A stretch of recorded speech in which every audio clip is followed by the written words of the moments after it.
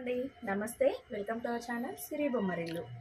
మీరు మీ గార్డెన్లో ఫ్రూట్ ప్లాంట్స్ పెట్టలేదా? వెజిటేబుల్స్ పెట్టలేదా? టెర్రస్ పైన అని చెప్పేసి అడుగుతున్నారు. వెజిటేబుల్స్ చాలా పెట్టానండి అంతకుముందు. ఇప్పుడు కోతుల బాధ ఎక్కువైనప్పటి నుండి అస్సలు వెజిటేబుల్స్ ప్లాంట్స్ అయితే పెట్టట్లేదు. ఫ్రూట్ ప్లాంట్స్ అంతకన్నా పెట్టిన మొక్కలే అండి. అంటే ముందు ఈ కోతుల బెడద స్టార్ట్ అవ్వక ముందు అప్పుడు అసలు కోతులే లేవు. అప్పుడు పెట్టిన మొక్కలు సో అసలు వాటికి కాసిన కాయలు ఒక్కటి కూడా మమ్మల్ని కోసుకొని ఇవ్వట్లేదు కానీ మొక్కల్ని అయితే కాపాడుకోవడం కొరకు అని చెప్పేసి ఇంకా మొక్కల్ని సేవ్ చేసుకుంటున్నాను. ఎప్పటికైనా ఈ కోతుల బెడద తగ్గితే మనకి ఫ్రూట్స్ ఎంజాయ్ చేయొచ్చు కదా అని చెప్పేసి నేను పెట్టిన మొక్కలు ఇది స్టార్ ఫ్రూట్ అండి. మొత్తం పూత పింద మీద ఉంది. ఇదివరకు కూడా చూపించాను పాత వీడియోస్లో టూ ఇయర్స్ బ్యాక్ నుండి. దాదాపుగా ఇది కాసినప్పుడు కాయలు పెద్దగా ఉన్నప్పుడు చూపిస్తూనే ఉన్నాను. సో ఇలా ఫిఫ్టీ లీటర్స్ బకెట్లో అయితే చాలా బాగా వస్తాయండి. అంటే గ్రాఫ్టెడ్ మొక్కలు తెచ్చుకోవాలి. నార్మల్ మొక్కలు అయితే క్యాన్లలో కష్టంగానే గ్రాఫ్టెడ్ మొక్కలు అయితే చాలా బాగా వస్తాయి. అంటే మనం చిన్న ఫ్యామిలీకి సరిపోయేటట్టుగా వస్తాయండి. ఇంకా నేలలో పెట్టినంత హీల్డ్ రాకపోయినా అసలు ప్లేస్ లేదు. మనం మన మొక్కలు మనమే పెంచుకోవాలి. ఆర్గానిక్ ఫ్రూట్స్ తినాలి అనుకుంటే మాత్రం ఇలా క్యాన్స్లలో కూడా పెంచుకోవచ్చు. బట్ ఫీడింగ్ అనేది నేలలో ఉన్న మొక్కలకి ఇచ్చినట్టు కాకుండా ఎక్కువ ఇవ్వాలన్నమాట. ఎందుకంటే మొక్క దానికదే నేలలో నుండి తయారు చేసుకోలేదు కాబట్టి క్యాన్లో సాయిల్ తక్కువ ఉంటుంది కాబట్టి మనం పోషకాలు ఎక్కువ ఇవ్వాల్సి వస్తుంది. సో ఈరోజు ఈ మొక్కను ఒకసారి మీకు చూపిద్దాము అని చెప్పేసి. ఇది ఎవ్రీ టైం చూపిస్తున్నాను మీకు. ప్రతి సీజన్లో దీని కాయలు కానీ పూత పిందె అన్నీ చూపిస్తున్నాను. కాకపోతే కోతులన్నీ కొమ్మలు విరిచేసాయండి చాలా రోజుల నుండి ఇంకా అవి చిన్న పిందెలున్నా కొంచెం పెద్దగా ఆకులలో కలిసిపోయినట్టుగా ఉండి కనబడకపోయినా కొంచెం పెద్దగైన తర్వాతనైనా అవి ఇంకా తెంపేయడము కొరికి పడేయడం అలా జరుగుతుంది. సో ఇప్పుడు మళ్ళీ అంతా పూత పూత తర్వాత ఇలా పింద చిన్న చిన్న పిందెలు ఉన్నాయి చూడండి బంచెస్ లాగా. సో ఫుల్ పూత మీద తర్వాత ఇలా పింద ఇవన్నీ మనకు ఆగవండి.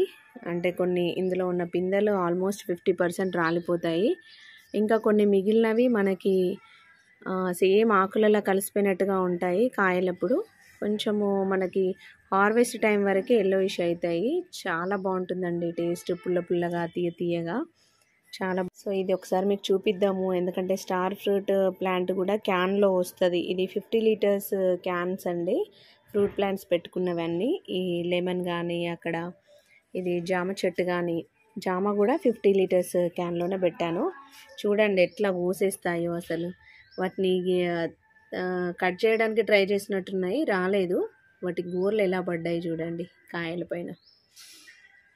సో ఇలా మనము ప్లేస్ లేని వాళ్ళు ఫిఫ్టీ లీటర్స్ లేకపోతే పెద్ద బకెట్ ఫిఫ్టీ లీటర్స్ బకెట్ కానీ ఇలాంటి క్యాన్లలో ఫ్రూట్ ప్లాంట్స్ పెంచుకోవచ్చు. బట్ ఏంటంటే వీటికి మనం ఇచ్చే fertilisers correct time to time ఇవ్వాలి. నేలలో ఉన్న మొక్కలతో పోలిస్తే వీటికి ఎక్కువ ఫీడింగ్ అయితే అవసరము. ఇంకా మనకు అందరికీ తెలిసిన విషయమే అది. సో ఒకసారి ఫ్రూట్ ప్లాంట్స్ ఇలా క్యాన్స్లలో పెట్టినవి ఒకసారి చూపిద్దాము. ఎందుకంటే కొత్తగా మన ఛానల్లోకి వచ్చిన మన ఫ్యామిలీ మెంబర్స్కి అంటే కొత్త సబ్స్క్రైబర్స్కి హెల్ప్ అవుతుందని చెప్పేసి నేను ఈ చిన్న క్లిప్పింగ్ మీకు తీసి చూపెడితే ఏంటంటే ఓకే ఫ్లారింగ్ ఇలా ఉంది. మనకి హీల్డ్ కూడా ఎలా వస్తుంది అనేది ఒక ఐడియా వస్తుంది. చాలా ఛానల్స్ చూసుంటారు చాలామంది కానీ నా దగ్గర ఉన్నాయి ఒకసారి ప్రాక్టికల్గా చూపెడదామని చెప్పేసి చిన్న వీడియో ఇది లెమన్ ప్లాంట్ లెమన్ కూడా బాగానే వస్తున్నాయండి. ఇంకా నేను అసలు వీటిని అంటే నాకు సాటిస్ఫాక్షన్ లేదు. ఇంకా ఫీడ్ చేయాలేమో అనిపిస్తుంది. కానీ టైం కుదరక. ఇంకొకటి ఏంటంటే వీటికి ఎన్ని కాయలు వచ్చినా అవి ఉంచట్లేదు కదా కోతులు. అందుకని చెప్పేసి కొంచెం ఇంట్రెస్ట్ కూడా లేదండి. మనం ఎప్పుడు కానీ అంటే మొక్కను బతికించుకోవాలనే చూస్తున్నాను నేను. ఇంకా జామకాయలు కూడా పిందెలు అయితే చాలా పడ్డాయి. ఇంకా అసలు ఈ కొమ్మ వంగిపోయేటట్టు ఉండే అండి పిందెలు. చిన్న చిన్న పిందెలే కోసేసాయి కోతులు. ఇవి కూడా ఉంచవు. జస్ట్ చూసుకొని అరే ఇంత చిన్న చెట్టు కాయలు అయితే పడ్డాయిలే అని మనం సాటిస్ఫాక్షన్కే తప్ప ఇంకా కొంచెం పెద్దగైనా ఉంచవు. ఇప్పుడు ఇవి కూడా ఒకసారి వచ్చినాయంటే అన్నీ కోసేస్తాయి. ఇంకా ఇక్కడ తర్వాత అక్కడ క్యాన్లో సపోటా దానిమ్మ తర్వాత సీతాఫల్ అవి కూడా పెట్టానండి.